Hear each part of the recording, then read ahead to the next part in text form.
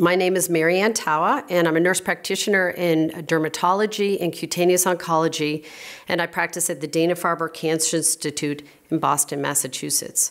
I'm going to speak to you today about clinical trials in the nursing perspective. The role of clinical research nurse is multidimensional. Uh, the clinical research nurse works in collaboration with a physician, is responsible for design, implementation, and evaluation of clinical research in their specific program or area. So in our disease, um, it would be within the Cutaneous Oncology Disease Center. The clinical research nurse possesses expert knowledge of cancer as a disease process, cancer treatment modalities, and the process of conducting medical clinical research. The clinical research nurse utilizes evidence based nursing practice and has expertise in developing and coordinating a plan of care designed to meet the physical, psychological, and social needs of those patients and their families undergoing therapy in a clinical trial arena. The responsibilities of uh, a clinical research nurse are multidimensional. They range from administrative to clinical the actual conducting of the research, and then behind the scenes professional development.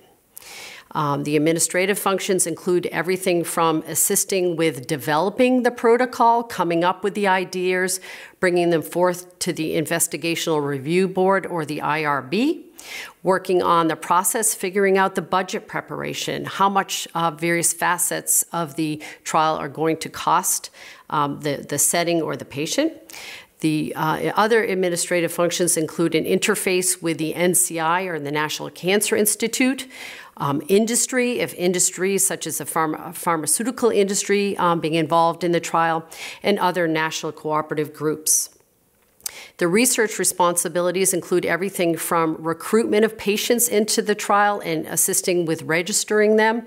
So, in the course of caring for patients, really thinking about those that might fit the profile of the trial, coordinating their schedule for their various for the uh, various labs, um, clinic visits, uh, radiography or X-rays or imaging studies that are uh, uh, inherent to the trial, monitoring results as they come in. So as blood levels come in, taking a look at that data and informing um, uh, the uh, investigators of, of that information, collaborating within and outside the institution. The clinical responsibilities involve everything from coordinating the study enrollment and the protocol uh, therapy, um, educating the patient on the elements of the trial, what's involved in the trial, what their responsibilities are in the trial, performing the education outside of um, the patient setting. So when there are uh, infusion um, nurses involved in delivering an agent to a patient, educating them on um, the nuts and bolts of the trial. Uh, monitoring the environment of care, which is absolutely imperative to make sure that safety is ensured throughout the course of the patient's participation in a trial. And then once again, behind the scenes, the professional development. The uh, research nurse is responsible for membership to their national organizations, uh, working on manuscripts, um, articles, and presentations re um, relating to either the disease process or the elements of the clinical trial and the outcomes of the trial, maintaining his or her professional licensure and certification, and uh, once again, uh, bringing lots of experience to the mix. So the first question that patients are going to ask about uh, is, you know, what are clinical trials? And by definition, a clinical trial is patient-based research to um, address an unsolved clinical problem. And when patients have concerns about, um, you know, the safety environment, um, the important thing that patients need to be aware of is that clinical trials are highly supervised from an ethical perspective, a scientific perspective, and um, maintenance of a clinical standard perspective. Uh, when patients are taking a look at a protocol um, and a consent form for a clinical trial, one of the important questions is what phase of clinical trial is being conducted here? What am I being asked to participate in? So the answer to that question is they're conducted according to four levels of complexity. By and large, most um, cutaneous T cell lymphoma studies are not phase one clinical trials. As you can see here, um, they're typically a smaller number of patients that are recruited into phase one trials. Um, they're usually sort of the first experience of that, uh, that agent in man. Um, once again, looking at how is that agent metabolized? What is a proper dose and dose um, in regards to producing effect and dose in response uh, to toxicity? A phase two trial tends to um, involve a larger number of patients. Uh, we have here 30 to 90 patients, and you're looking at response rate um, and uh, once again the quality of the response and the duration of response. And many of the clinical trials in the cutaneous T cell lymphoma patients would be phase two trials. Phase three trials are an even larger number uh, population of patients, and that's once again taking a look at effects on survival and comparing um, our agent, the study agent, to what's already out there and approved in the marketplace. And that's where a drug um, sort of resides before it goes to approval by the FDA.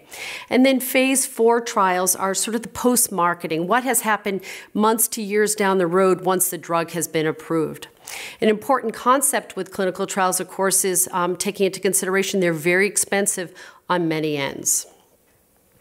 So, clinical trials in cutaneous T cell lymphoma, you know, where does nursing fit in? Many patients will um, question uh, what is going to happen with the relationship that they've um, forged with um, uh, the nurse in their practice if they move to a clinical trial. So they ask that question Will I be seeing you during the course of uh, the clinical trial, or will a new relationship with a new nurse with new perspective need to, um, uh, to be added to the repertoire? Um, and um, for many patients, their concern is Will my perspective on cutaneous T cell lymphoma get lost?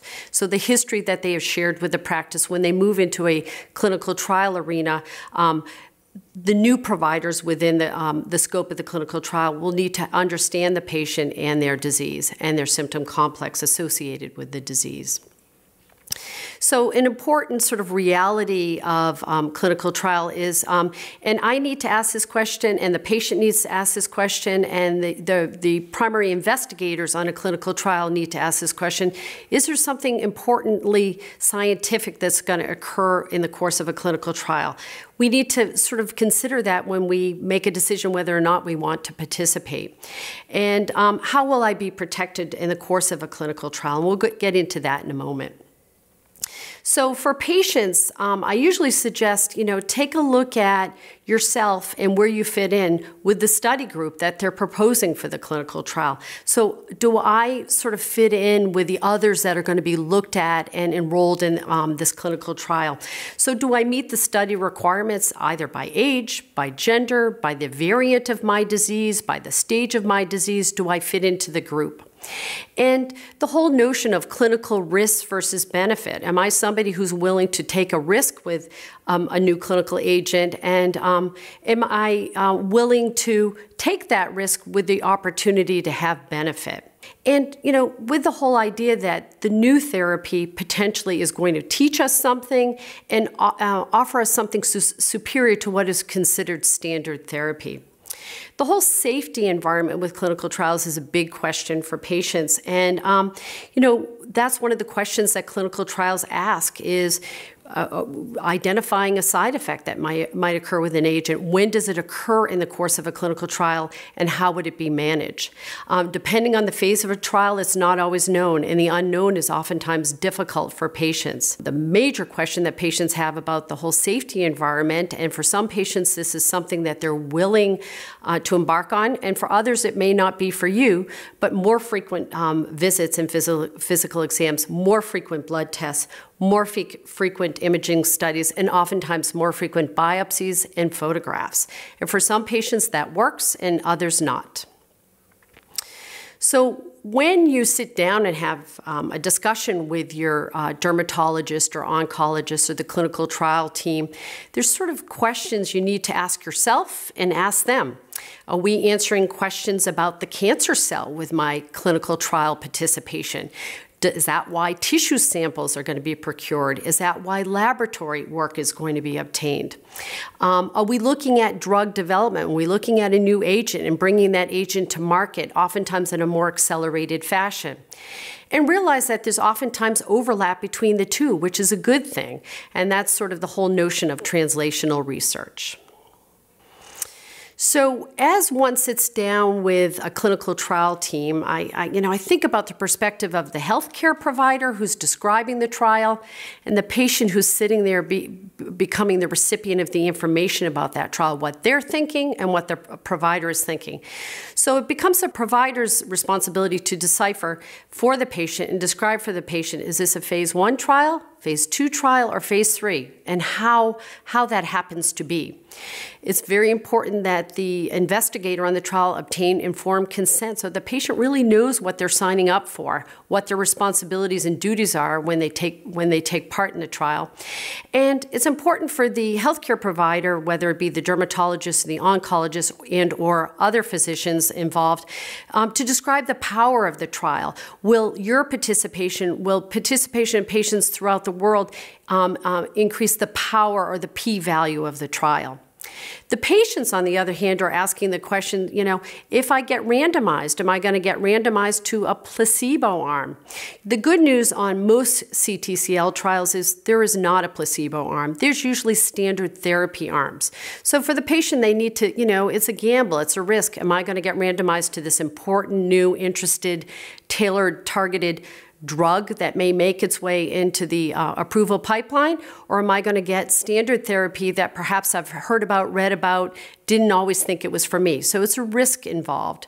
Um, what happens when the risks outweigh the benefits as I'm experiencing side effects? How will that be managed? Do I remain in the trial? Can I withdraw from the trial? All those sort of questions need to be answered. And you need to ask the question will my visits be more frequent? Because for a lot of patients, that will work. And for other patients, it's geographically difficult and challenging. And where does my insurance fit in? Does my insurance participate in the clinical trial at all, or are all these visits covered on another realm? So, when patients are performing their decision making about whether or not clinical trial enrollment is for them, I always suggest you bring a second set of ears, somebody to take notes and provide prompts when you need to ask questions that perhaps you've forgotten, and to write down all of the study team's answers so that when you go back and think about whether or not the clinical trial is for you and you do some more reading, you can synthesize that data. So, the decision making that should take place when um, a patient is considering a clinical trial a, bring a second set of ears to the meeting. Bring somebody with you that you trust, that's perhaps done some reading about uh, the trial with you, um, that can prompt you when needed uh, to ask additional questions and can assist you with writing down the study team's answers. Um, a lot of work goes um, on behind the scenes um, after a visit to discuss a clinical trial where this information gets synthesized and processed at home and helps you make your decision about whether or not enrollment is for you. Um, it's important when you have a clinical trial visit, when you're information gathering, to figure out whether or not a clinical trial is for you. And that decision making may um, come based on whether or not the procedures associated with that clinical trial are for you. Oftentimes, more frequent blood work is um, expected of the patient at different points in time, particularly early on in a clinical trial. It may be very frequent blood tests. More skin biopsies may be obtained over time. Photo documentation of your of your skin throughout the course of uh, your clinical trial, and more frequent uh, radiographs or imaging studies, such as CAT scans or PET scans, may be performed. Um, where else can you get information when you're getting to the point where you're trying to figure out whether or not you want to participate in a trial, to become enrolled in a trial? Would be speaking with your primary care provider, speaking with your dermatologist and or your oncologist, get, asking more questions of the study team, getting second opinions, and then going to some of the support groups um, that are out there, such as the Cutaneous Lymphoma Foundation, the National um, uh, Cancer Institute, or perhaps the setting in which your clinical trial is being conducted. The hospital itself may very well have very good resources. And for many patients, their financial concerns are, are great when participating in a clinical trial, and there are services within the context of many clinical trials where financial discussions can be had. So, navigation and guidance with cutaneous uh, T cell lymphoma trials. Um, you know, patients need to figure out where does the cutaneous T cell lymphoma trial fit into the schematic of what is considered traditional, accepted, sort of standard care um, ver versus skin, skin directed and systemic therapy. So, where does the trial fit in? Is it for early stage patients who are receiving skin directed care, or is it for later stage patients who have more systemic therapies um, um, under their belt? So, where do I fit in? Where does this study drug fit in? That's an important question. Do other treatments that I've had in the past that perhaps I've tried and failed with have any predictive value for whether or not this study drug's going to work for me? Once again, a question to be asked, something to be pondered. And, um, you know, ask the question is, is this clinical trial intended to postpone or prevent further aggressive therapies? Am I being recommended for this trial? Am I pursuing this trial because it's going to postpone more significant, more aggressive therapies for me in the future? And for a lot of patients, there's that whole level of concern about letting go of therapies that have been tried and true over time and making their way uh, to um, an area that's somewhat considered to be uh, the unexpected and unknown. So, questions also for patients to concern, um, concern themselves with and ask when they're embarking on clinical trials is Will I continue with my same providers, or am I going to be relegated to a new study group of providers? Oftentimes, that's a very good thing, but for some patients, that's difficult to let go of. So, asking who I will see in the course of the clinical trial, um, because the usual ways that one would have managed their symptom or their disease will change a bit when you're in the setting of a clinical trial. So, the usual way you describe your disease, you may be asked to learn a new language, to grade yourself in a different way, to, to maintain diaries in the course of a clinical trial. And, you know, success or not, ask the question if this agent is working for me and I am participating in this trial, what happens when the study ends? Will I be able to receive this agent on an ongoing basis or will the drug be withdrawn from me? Most often in cutaneous T cell lymphoma trials, if the, if the trial ends, the patient is able to receive that agent in an ongoing fashion, provided they have responded on a compassionate basis. And then what happens when I withdraw? What happens if a patient experiences a side effect profile that's too cumbersome, too difficult, or it's just too much of a commitment to be involved in the trial. Where do I go from there? Do I return to my CTCL providers at that institution? What happens to me? An important question for patients to ask. Always you know, take into consideration the logistics of participating in a trial. Where do I live in relationship to the study center? Can I get there in a reasonable fashion? Will my work support me while I enroll, uh, um, enroll in a clinical trial? Will my family support me while I'm involved in a clinical trial? And once again, um, you know, the whole uh, notion of a comfort level with receiving treatment where the benefits are sometimes not known, where I couldn't have read about how other patients have done with this drug because they haven't been exposed. I can't go to the list serve and find out how it's worked for other patients. And then once again, employment concerns and costs. Ask those questions. Is my insurance going to get involved in this clinical trial? Many of the trials, the drugs are covered by the industry that supports the trial, but there may be times and certain studies that are involved in the trial that are considered clinical care that would be covered by your insurer. So ask those questions. And where am I going to get my support? Where am I going to get my support when I'm making my decision as well as when I'm enrolled? So, some of the important places that I suggest that patients take a look for the purpose of investigating clinical trials would be the NCI or the National Cancer Institute, the National uh, uh, Library of Medicine's list of clinical trials, and of course the Cutaneous Lymphoma Foundation.